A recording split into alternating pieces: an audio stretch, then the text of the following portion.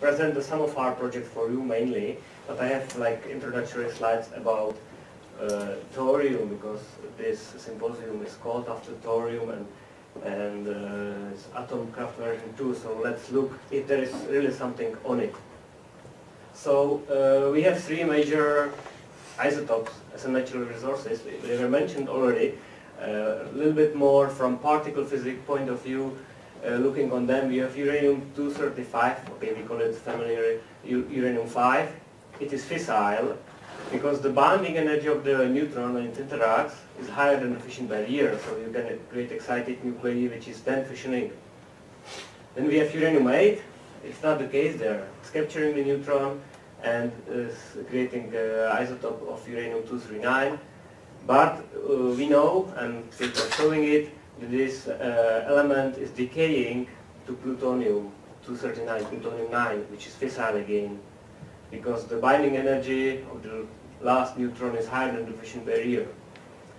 Uh, thorium, thorium has one major isotope on it, thorium-2, is not fissile again, and again can create fissile element which is uh, uh, uranium-3, and there there is the half the half-life of the protactinium which is 27 days, which leads to parasitic captures on protactinium in uh, many reactors or in potentially many reactors. The neptunium is decaying much faster, so there is not such an issue in plutonium cycle. And okay, again, uranium-3 is fissile because of the uh, fission barrier being smaller than the binding energy.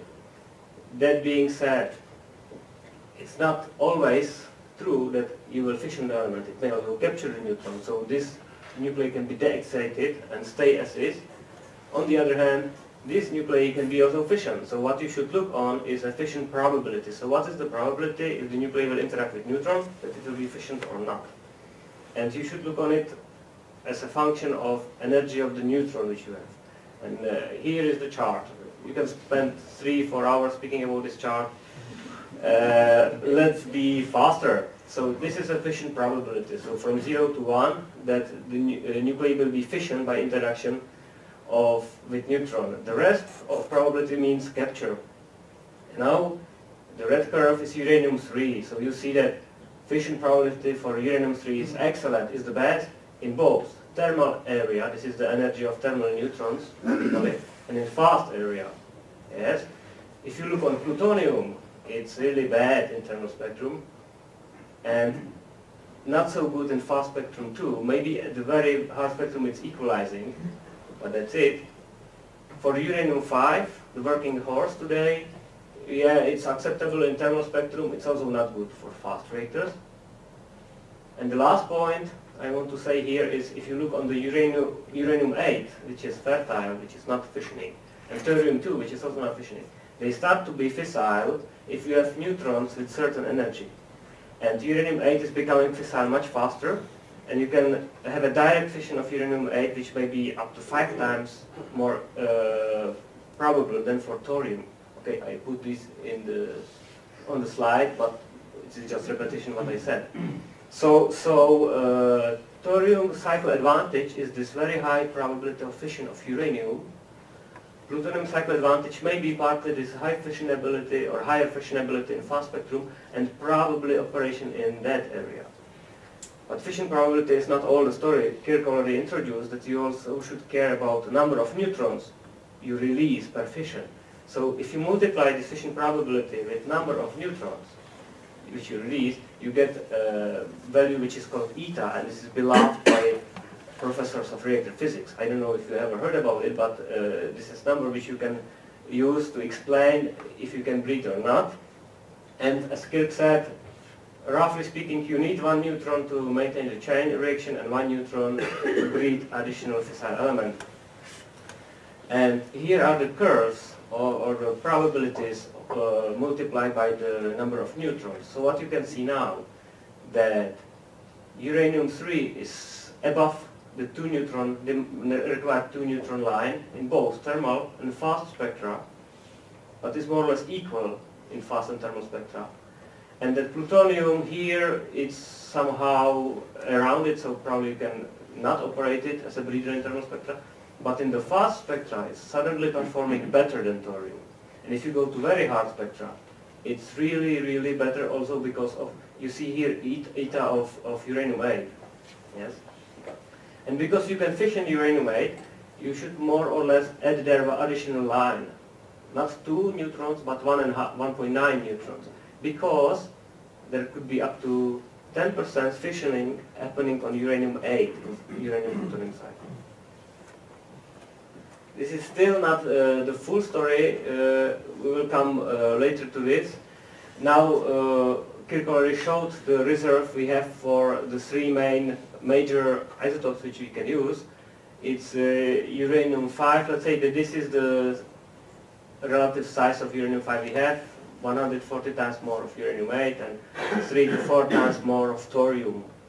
But if this reserve of uranium-5 may be good for one century, we have probably more than enough uranium-8 for 5,000 years, and maybe here it is, I don't know, 20,000 years. So this is one advantage of thorium, but probably not so strong. Now, uh, there is a, a, chart or scheme showing the, the fission, but uh, probably I don't need to spend much time because you need one neutron to cause the next fission in the chain reaction. You need to capture one neutron on the fuel, let's say uranium-8 thorium-2, creating new fissile which comes back to the beginning. So you can say that the fissile, uranium-3 or plutonium-9, is a catalyzer and that you are burning uranium-8 or thorium-2. Uh, so you need two neutrons roughly to run this and you have 0.5 to 0.9 neutrons to waste to, for, through leakage or through absorption. So now uh, what is the ideal reactor we would like to have? It's, it's more or less a never-ending fire where you are burning nuclear fuel. So you are catalyzing it with plutonium-9 and uranium-3, and you use uranium-8 or thorium-2 as a fuel. And produce energy. That's what we want. Unfortunately, this works only if you continuously or batch-wise remove fission products. Oh, sorry. Remove fission products, which is the case in uh, fire because we have a smoke coming out, therefore the fire is staying. If it will be closed area, of course you need also oxygen, but uh, the smoke will kill it. So, so uh, to keep, let's say, the fuel inside of the reactor and remove just the fission products, you need recycling. And here's the first point that liquid fuel may really bring advantage in recycling, it was already discussed. If you will recycle the fuel, it will eventually later on uh, establish a uh, kind of equilibrium fuel composition. Okay, equilibrium closed fuel cycle composition. And now uh, let's have a look what happens if you irradiate thorium in a reactor. So we have thorium, it's capturing a neutron, becoming thorium-3 through two beta decays, creating uranium-3. Now, there are two numbers, light blue and dark blue. This is for thermal reactor, this is for fast reactor and uh, the numbers which will now pop up are normalized to thorium. So what happens with uranium-3? It's fission, but there is a chance, roughly 10% chance, that it will fail the fission. So it will capture the neutron and create uranium-4. And now here you have the reaction rates of uh, uranium-3 interacting with neutrons, and here you have the mass, which is 100%, and the rest is normalized to that. So you have like 11% chance that it will fail in thermal spectrum, 9 in fast. Uranium-4 is not fissile, so will be transmuted to uranium-5. And again, as Kirk mentioned already, this fission of uranium-5 must fail to go high, to higher elements. If it fails, you go more or less through several captures up to plutonium-8, plutonium-9. And firstly here you start to produce, let's say, higher elements. If you compare it, uh, you produce plutonium-40 and this is the gateway to americium and, and uh, curium and so on. If you compare it with uranium-plutonium cycle, you start at uranium-8 and immediately produce plutonium and you are there. Uh, it's necessary to say here that uh, americium and curium and the plutonium isotopes, they are long-lived radioactive waste. On the other hand, these isotopes of uranium are also radioactive and they will be as uh, traces or reprocessing losses in the waste, but still they will be better from the long-term perspective than what we produce here. There is one disadvantage of thorium cycle is that thorium-2 can undergo n-2n reaction. Okay, it may be advantage from another point. point, and creates, through complicated way, way uranium-2. And this, this element is alpha decaying through the same decay chain as thorium, but it has short half-life, so it's producing uh, many more daughters, and creates very hard gamma emitters. Uh, I have it on the slide, so you see is joining the uranium to decay chain, and at the end there there are very hard uh, uh, gamma gamma element uh,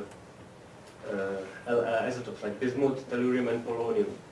So if you if you want to reprocess irradiated thorium, you need to have shielding. Okay, in reprocessing facility you have always shielding, but in fabrication facility it's not the case to have shielding. You, usually you don't need it, but in this case you will need it but uh, it's, it's possible, it just will cost a little bit more. On the other hand, in the uranium-plutonium cycle, you will have these higher elements, this americium and curium, and they are alpha decaying, producing heat, and also producing neutrons. So to fabricate uh, fuel, solid fuel, like pellet, including americium and curium, it's not so straightforward because it will emit heat, and you will need to cool the pellet in all the steps before you put it in the cladding and then immediately you will need to cool the cladding. So there is also a challenge. And both these issues may be handled much better if you will have used liquid fuel. So the molten salt reactor, where there is no fabrication and where you can use a kind of uh, pyrochemistry or reprocessing methods, uh, can accommodate better both uh, uh, the minor actinides from uranium plutonium cycle and uh, uranium decay thorium uh, fuel cycle. Now, uh, there are two salts, it was already mentioned, uh, uh chlorides and fluorides. And uh, just to mention, in 70s uh, there was there was a research running at PSI, or at the time it was Eidgenössische Institut für Reaktorforschung, and and you, already at the time you can find pictures like this it was Professor Taube, thinking about chloride, chloride breeder. The chlorides are relevant for uranium-plutonium cycle mainly because they provide very hard neutron spectrum and high plutonium solubility in the salt. Uh, the hard spectrum is caused by the transparency of the salt for the neutrons. So what is disadvantage of chlorides? You need to have a big core to reduce the leakage, or you need to use blankets or efficient reflectors. That's the only way uh, how to not lose too many neutrons from the transparent core. On the other hand, fluorides, they are very good marriage with thorium cycle in both thermal and fast spectrum because they have excellent neutron, neutronic performance. They don't absorb neutrons. But on the other hand, they have low solubility of plutonium. So uranium-plutonium cycle would be probably not possible in fluorides. Uh, the low capture probability of uranium-3 also means that you don't produce much higher elements and the thorium may therefore act as a semi-inert matrix if you want to burn plutonium. Because if you load plutonium together with uranium to the reactor, you will produce new plutonium. If you load, load plutonium with thorium to the reactor, you will burn the plutonium, not creating new one. So that may be another advantage of thorium. Now, uh, you establish in equilibrium with repetitive recycling, you establish kind of uh, uh, composition of fuel which is given, and each of the isotope from this composition will consume neutrons. Now, let's say you have nu, which is like number of neutrons per fission, you need two for chain reaction for breeding, so the excess is uh, this term. And if you divide it by all available neutrons, you get roughly a reactivity. Reactivity as measure of excess of neutrons. And this reactivity is consumed by absorption and leakage. And if you do simulation on a cell level where you don't have leakage, just look on absorption, you can express an excess reactivity. So this is a very hard chart. I will try to explain it at my best. So looking on thorium-uranium cycle and fluoride salt, we have pure salt here. And then step by step we are adding graphite to moderate the reactor and somewhere here there is a moderated reactor.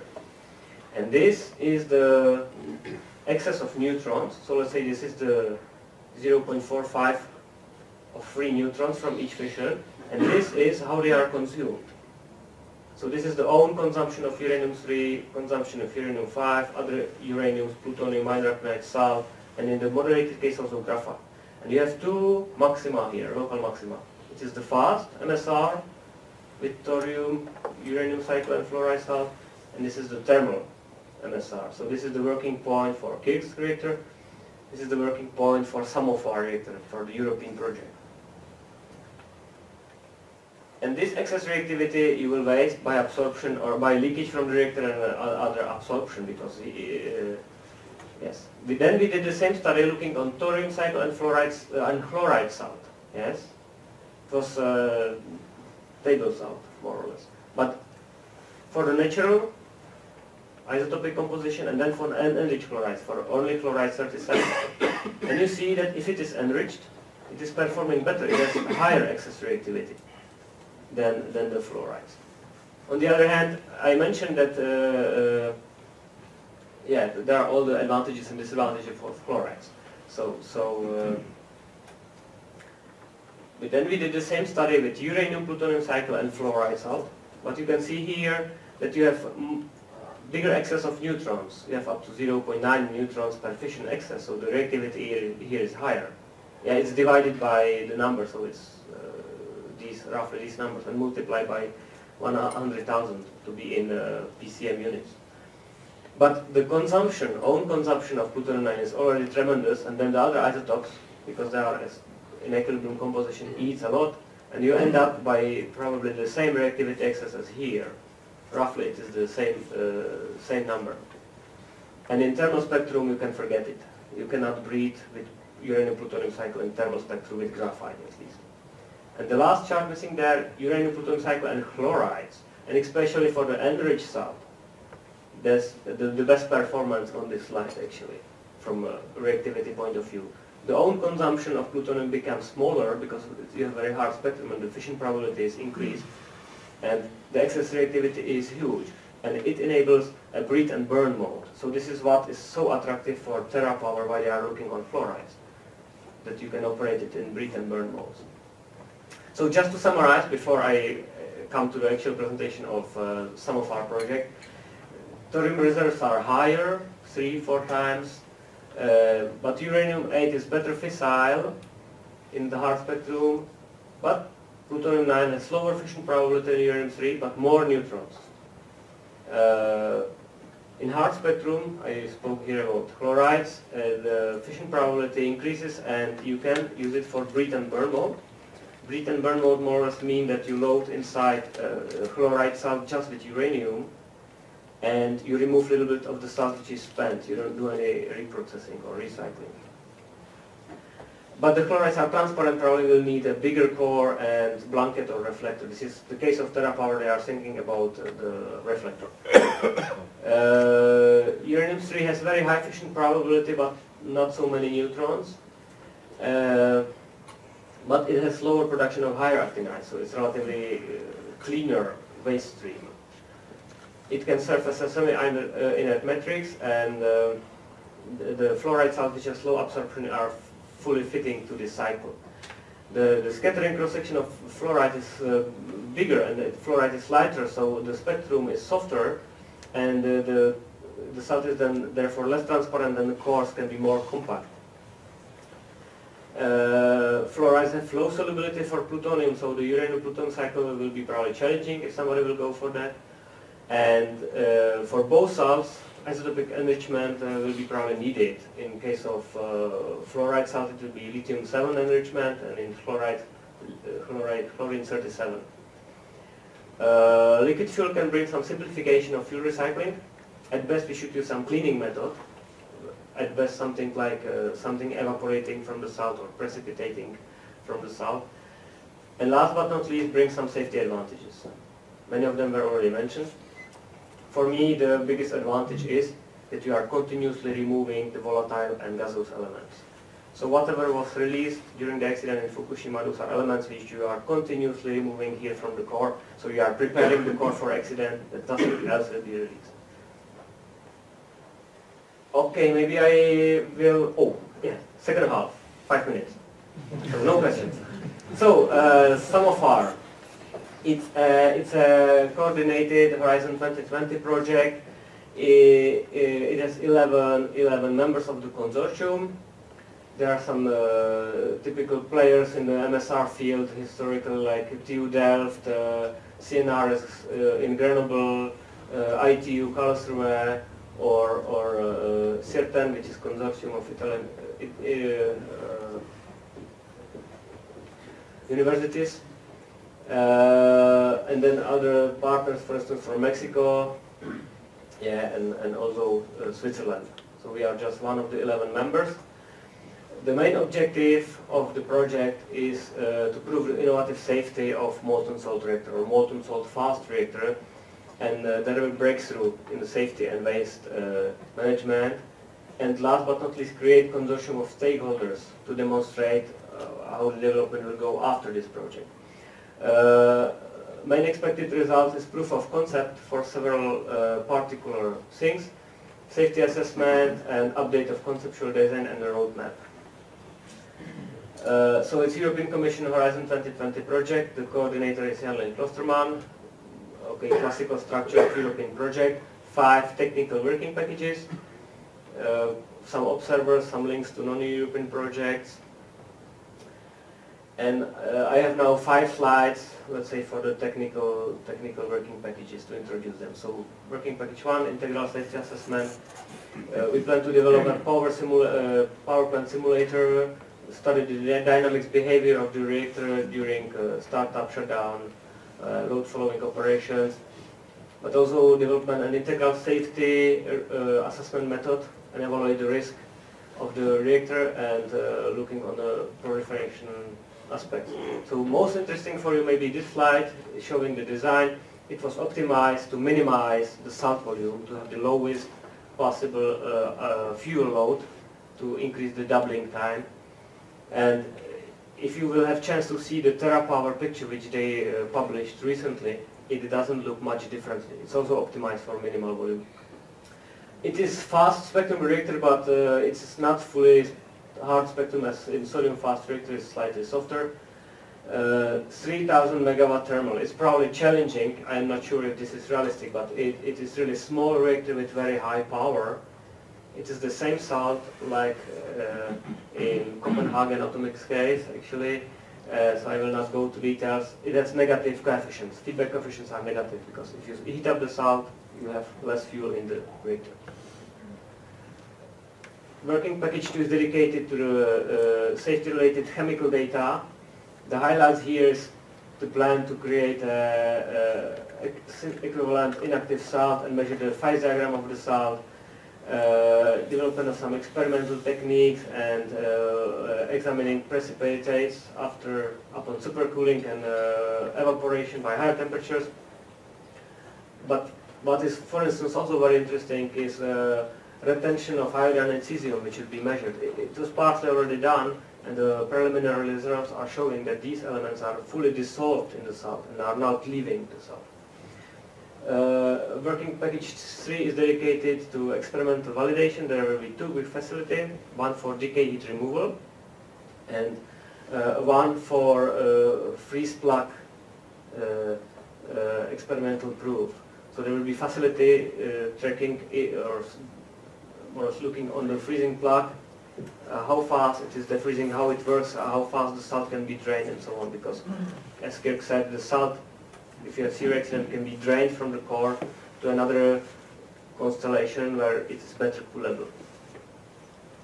Working package 4 is numerical assessment. We are planning to use cutting-edge modern tools uh, to simulate the, the, dynamics of a molten salt reactor, uh, normal and off-normal operation, decay heat removal, and uh, thermal expansion of the vessel or freezing in subsections and so on. And working package 5 is about the safety of chemical processing. So there is also reprocessing scheme. Uh, several steps are similar to what Kirk presented. And for instance, the liquid metal extraction method is one place where we would like to bring the technology from technological readiness level 1 or 2 to level 3. Working package 6 is dissemination. And we plan some uh, school for summer school for students, some exchange of students. But uh, what is probably most important, we should organize a workshop for stakeholders, so for all the people interested in, in that project. So it's great. Okay, thank you very much.